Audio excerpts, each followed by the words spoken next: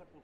Uh, no. Oh, Liverpool uh, are playing very well. It's going to be very tough. Manchester City are uh, favourites to win, but uh, I think Liverpool have a good squad, and um, I think uh, they have a, a great chance of winning it.